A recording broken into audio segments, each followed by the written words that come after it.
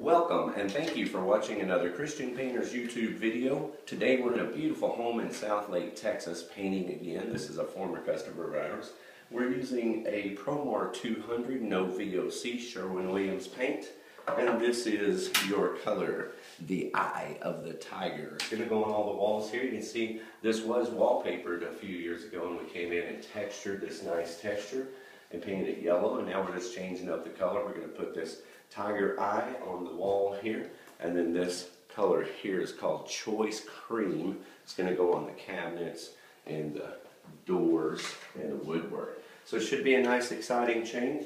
And then we have an office also where we're going to put this color right here, a nice Merlot line in the office. So you'll want to watch the videos for that and check out those pictures.